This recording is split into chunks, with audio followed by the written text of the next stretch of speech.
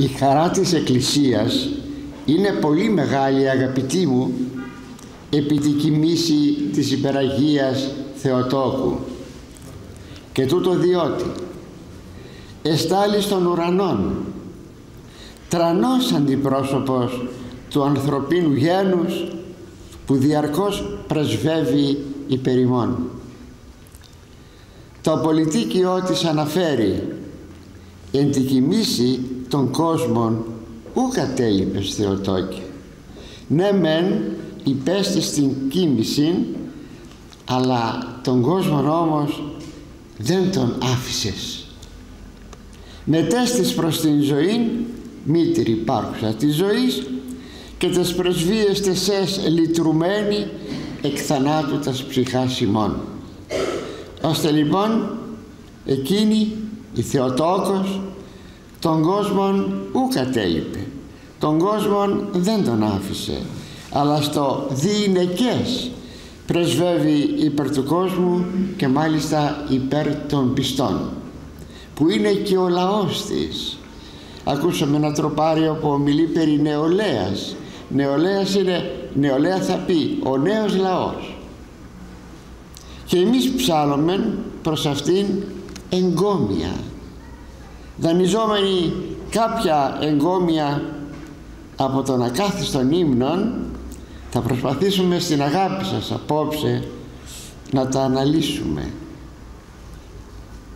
Χαίρε κυοφορούσα οδηγών πλανωμένης.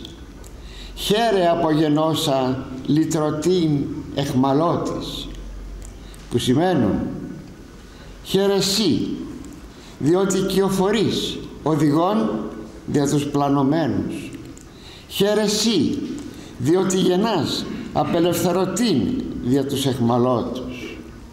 Και πρώτιστα πριν προχωρήσουμε να δούμε τον χαιρετισμό αυτό το χαίρε ο χαιρετισμός αυτός αποτείνεται προς την Θεοτόκον εκ μέρους του Αρχαγγέλου Γαβριήλ. Επιλέξει από το Ιερό Κείμενο του Λουκά. Χαίρε και χαριτωμένη ο Κύριος μετά σου ευλογημένη σύ εν γυναιξή το χαίρε βέβαια αποτελεί χαιρετισμό αλλά ταυτόχρονα εκφράζεται και ως προτροπή προς την Μαρία εκ μέρους του Αρχαγγέλου δηλαδή να έχει χαρά λέει κάποιος εκκλησιαστικός συγγραφεύς επειδή γαρύπεν ο Θεός τι Εύα εν λύπες τέξη τέκνα λύεται η λύπη της Εύας διατάφσης της χαράς ότι επειδή ο Θεός είπε στην Εύα ότι με λύπες θα γεννάει τα παιδιά της τώρα με αυτό το χέρε του ουρανού έρχεται να λυθεί η λύπη της Εύας και να δώσει χαρά. Και ένας άλλος εκκλησιαστικός συγγραφεύς λέγει χαίρε ήλθεν ολίον την λύπη. Να έχεις χαρά. Ήρθε η ώρα. Εκείνος ο οποίος θα λύσει τη λύπη ήλθε. Και είναι αυτόν που θα κρατήσεις εις τας σπλάχνα σου και προχωρούμε εις τον εγκομιασμό που προηγουμένως σας ανέγνωσα χαίρε κυοφορούσα οδηγών πλανωμένης. Πράγματι εκείνος που το δηλαδή ο Ιησούς θα ήταν ο οδηγός εις τους πλανεμένους ανθρώπους. Και πλανεμένη ήταν βέβαια ολόκληρη η ανθρωπότητα αφού ελάτρευε τα είδωλα και αγνοούσε των αληθινών θεών και εις αυτούς τους Αθηναίους θα πει ο Παύλος τους μένουν χρόνους της αγνίας υπεριδών ο Θεός τα νυν παραγγέλει της ανθρώπης πάση πανταχού μετανοεί ο Θεός λέει παρίδε παρέβλεψε τους χρόνους προσέξτε της αγνίας διότι έχασαν οι απόγονοι του Αδάμ πολύ γρήγορα τον προσανατολισμό τους ως προς τον αληθινό Θεό και περιέπεσαν στην ιδωλολατρία δεν είναι δύσκολο ξέρετε. Αντί να λατρεύσουμε τον κτίστην όπως λέει ο Απόστολος Παύλος λατρεύουμε την κτίσιν διότι τον κτίστην δεν τον βλέπουμε. Βλέπαμε όμως την κτίσιν και έτσι με τον τρόπο αυτόν νομίζουμε ότι Θεότης είναι αυτή η κτίση και κάνουμε μία μετάθεση. Αυτή η μετάθεση είναι προς την υδρολατρία και την άγνοιά των οι αρχαίοι προσπαθούσαν να την καλύψουν με την φιλοσοφία. Επειδή οι άνθρωποι ήσαν πάντοτε σκεπτόμενοι και ήθελαν να δίδουν λύση στα προβλήματά τους και δει τα υπαρξιακά τους προβλήματα με την φιλοσοφία. Παρά λοιπόν την φιλοτιμία, φιλοτιμία της φιλοσοφίας όμως οι πλάνες ήσαν εμφανέστατες προπαντός σε θέματα υπαρξιακά. Τι είναι ο άνθρωπος; Ποιος είναι ο προορισμός του; Τι είναι αμαρτία; Γιατί υπάρχει ο θάνατος και πλήθος άλλων πραγμάτων η απάντηση υπάρχει αγαπητοί μου μόνον εις τον Ιησούν Χριστόν. Των κυοφορούμενων εις τα σπλάχνα της Μαρίας. Μιλάμε σήμερα για πολλές θρησκείες. Όλες είναι φυσικές θρησκείες είναι κατεπίνια δηλαδή κατεπινόηση. Και φυσικά απαντούν σε υπαρξιακά θέματα τελείως όμως πλανεμένα. Μόνον ο Ιησούς Χριστός απαντά σωστά γιατί ό,τι μας λέγει είναι αλήθειες εξ αποκαλύψεως. Κάθε άνθρωπος εύχεται όπως ο Δαβίδ στον 142ο ψαλμό του. Γνώρισον μη Κύριε οδόν εν πορεύσομαι κάνε γνωστό το δρόμο που θα πορευθώ. Κάθε άνθρωπος σοβαρός άνθρωπος που δεν θα ήθελε να πλανηθεί αυτό πρέπει να εύχεται. Ξαναλέγω γνώρισον μη Κύριε οδόν ενή κατά την οποία πορεύσομαι που θα πορευθώ και τη γνώση αυτή κάθε τίμιος άνθρωπος αναζητά για να μην πλανηθεί στη ζωή του. Μόνον ο Ιησούς Χριστός λοιπόν απαντά ορθά περί ανθρώπου, περί κόσμου, περί ζωής. Και όμως σήμερα ύστερα από δύο χιλιάδες χρόνια χριστιανισμού αφήνουμε τον Ιησού Χριστόν και στρεφόμεθα πάλι στα είδωλα που ελάτρευαν οι προγονείς μας. Κάπου σήμερα έχουμε. Εκεί στο άγαλμα. Τέλος πάντων. Έτσι πληροφορήθηκα πιστεύω ότι είναι αλήθεια ότι έχουν συγκέντρωση όλοι οι ειδωλολάτροι οι οποίοι άρχισαν παρακαλώ εμφανώς να κινούνται και μάλιστα να δημιουργούν μία ούτως υπήν αντίπραξη εσείς γιορτάζετε την Παναγία και εμείς θα γιορτάσουμε τη δική μας εορτή. Τι να πει κανείς σε ένα σημείο μόνο χαίρομαι. Ξέρετε ποιο είναι αυτό;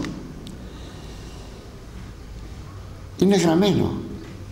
Είναι στο βιβλίο της Αποκαλύψεως. Και είναι προφητεία. Ότι το θηρίον ο μακαριστός Μπρατσιώτης ερμηνεύει ότι το θηρίον είναι η δολολατρία ήτο. Δεν είναι θα είναι. Δηλαδή επεκράτη με τον χριστιανισμό σταματάει η λατρεία του σατανά αλλά θα ξαναγυρίσει όμως. Και βλέποντας τα πράγματα όσα έχουν χαίρομαι όχι διότι ξαναγυρίζουμε στην δωρολατρία αλλά γιατί επαληθεύει η προφητεία. Και αυτό είναι πολύ παρηγορητικό. Και αν θέλετε ακόμα ένα δεύτερο σημείο ότι εκείνα τα οποία ήδη προφητεύτηκαν είναι πολύ κοντά. Είμαι θα κοντά στο τέλος αγαπητοί. Δεν θέλω να σας προκαταλάβω παρά μόνο τούτο. Να έχουμε μετάνοια να έχουμε ε, τι θα πει μετάνοια; Όπως ο Απόστολος Παύλος σας είπα προηγουμένως ότι ο Θεός υπερίδε τους χρόνους της αγνίας. Μετάνοια θα πει επιστροφή. Αλλάζω τρόπον του σκέπτεστε. Γυρίζω πίσω. Σκέπτομαι αλλιώτικα. Αυτό πρέπει να μας τονίζεται διαρκώς. Και πηγαίνουμε στον επόμενο, στο επόμενο ημιστήχιο χαίρε απογενώσα λυτρωτήν εχμαλώτης.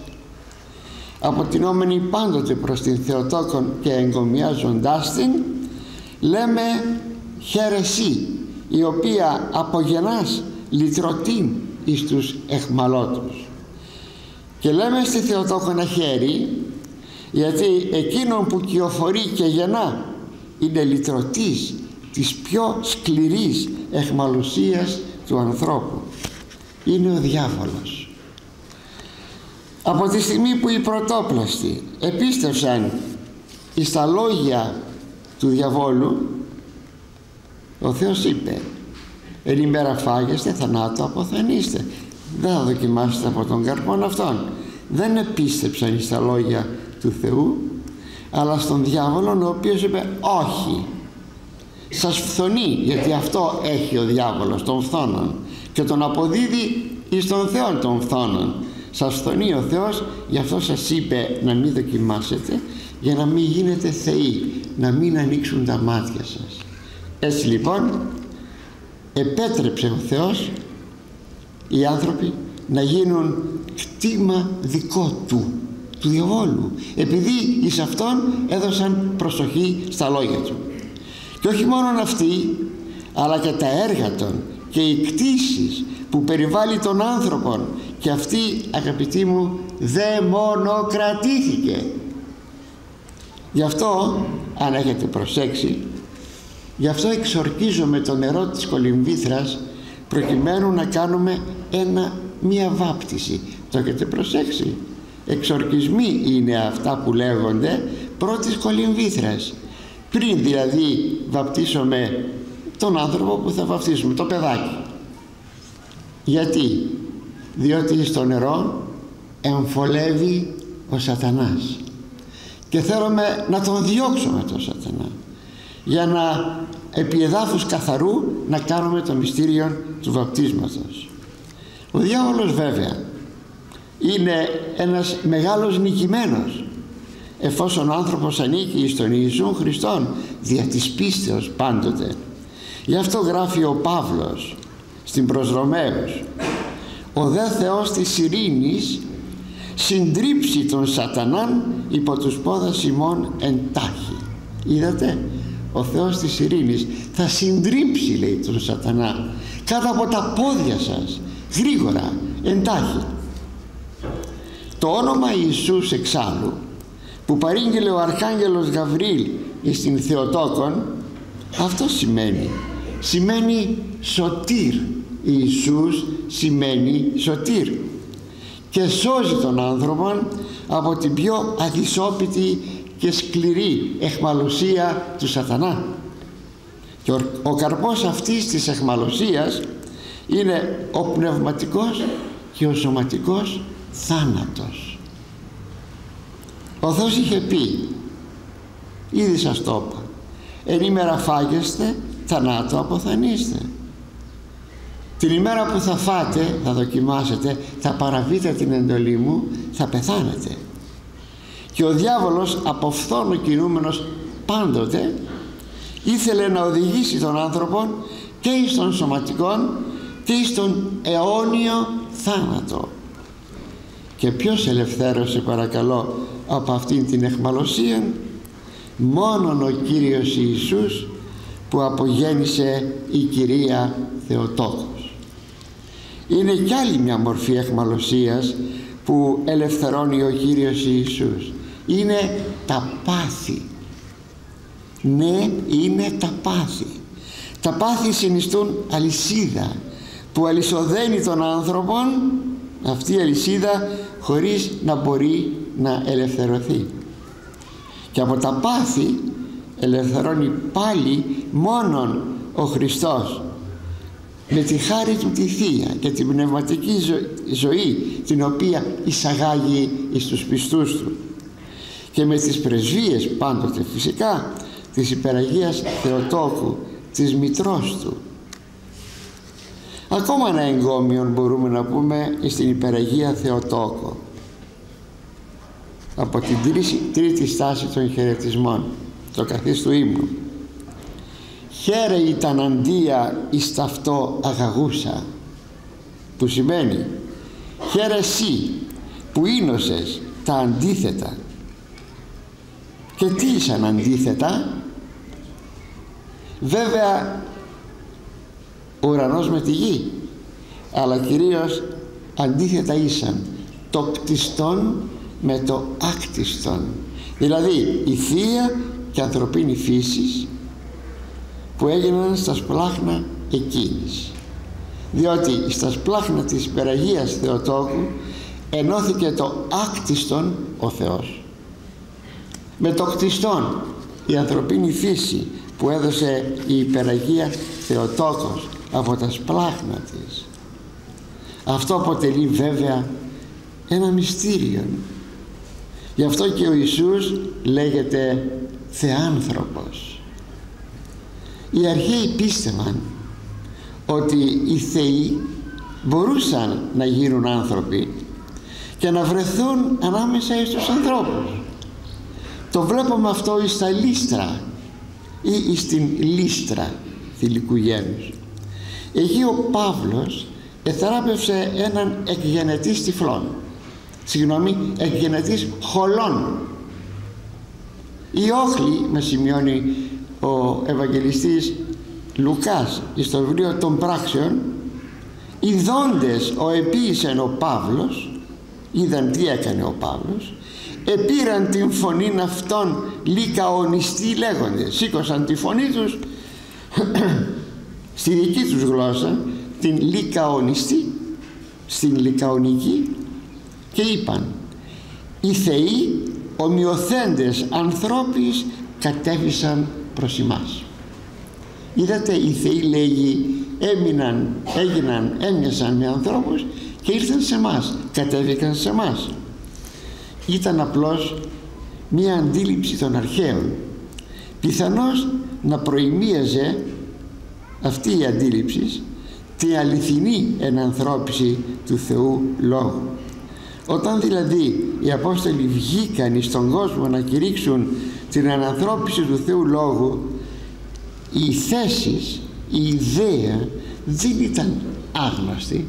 Ότι μπορούσε δηλαδή ο Θεός να γίνει άνθρωπος και συνεπώς η προσχώρησης στην πίστη. Είναι σημαντικό αυτό έτσι έχουμε μία ιδέα όχι ξένη προς τους ακροατάς. Όμως ως πραγματικότητα ήταν η μοναδική περίπτωση που η Μαρία μπορούσε να είναι Θεοτόκος. Δηλαδή να γεννήσει αυτόν τον Θεόν. Θεοτόκος προσέξτε Θεοτόκος. Και ο τίτλος αυτός είναι όντως το κενόν πράγμα όπως λέγει ο εκκλησιαστής διότι ουδέν κενόν υπό τον ήλιον τίποτα καινούριο δεν υπάρχει κάτω από τον ήλιο. Αλλά καινούριο είναι ότι εδώ έχουμε την Μαρία Θεοτόκον ότι γεννά Υιόν αν ξέρατε τι τρομακτική σημασία είναι αυτή η θέση αγωνίστηκαν οι πατέρες να την κατοχυρώσουν με τα συνόδους. Και πρέπει ακόμη να σας πω ότι η Παναγία μας είναι Θεοτόκος όχι Χριστοτόκος αυτό είναι το βαρύ πυροβολικό της Ορθοδοξίας εναντίον των αιρετικών. Λυπάμαι που δεν έχω πιο πολύ χρόνο να σας το κάνω σαφές.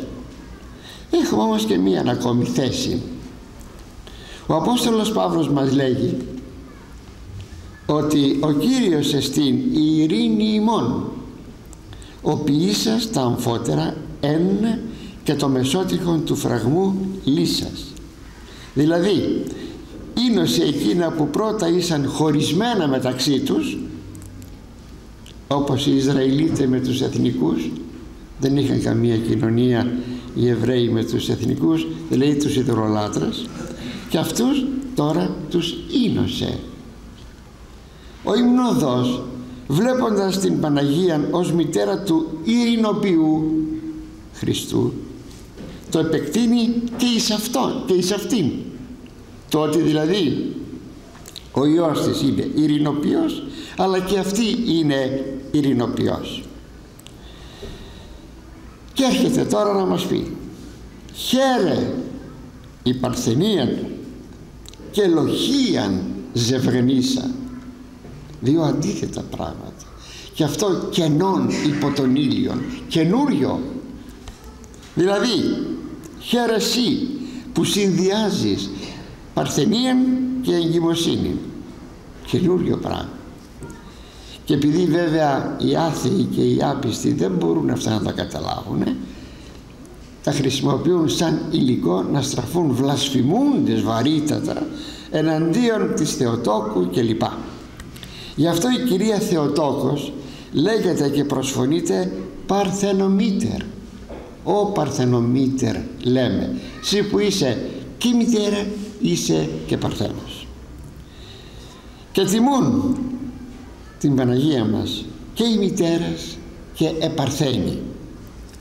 Αγαπητοί, είναι πάμπλουτη η Εκκλησία μας όχι μόνο με τον ενανθρωπίσαντα Θεών λόγων αλλά και με την Παναγία μητέρα του. Αληθινός θησαυρός πραγματικά.